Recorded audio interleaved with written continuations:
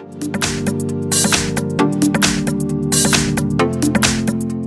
I've got Samsung Galaxy J6 Plus and let me show you how to add and remove Google account on the following device.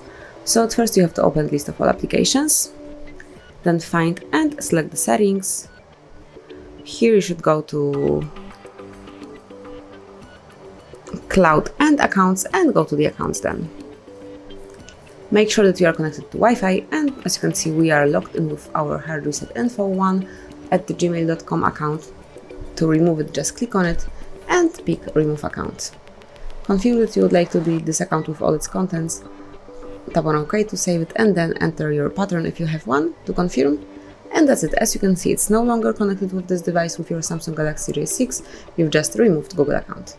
And now let's see how to add Google account, so you have to open the settings one more time, then pick cloud and accounts, go to the accounts and click on add account.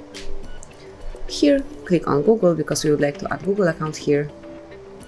Give it a couple of seconds to check all the information.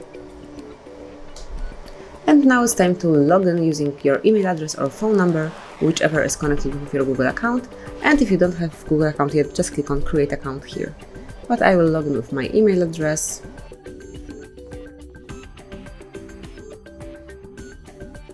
and then click on next.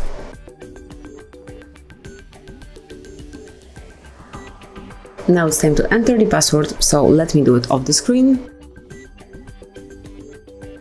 And as only the password is entered, as only you put the password here, just tap on next. And now it's time to come along with Google Terms of Service, Google Pay Terms of Service, and also privacy policy. And if you agree with all the above terms, just click on I agree.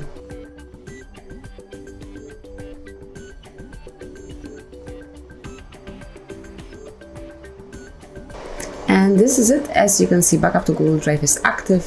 Click on accept to upload it and that's it. Here it is. Here's your google account which is now connected with your samsung galaxy j6 plus. So that would be all. So you can quickly and easily add and remove google account in your device. Thank you for watching. Please subscribe our channel and leave the thumbs up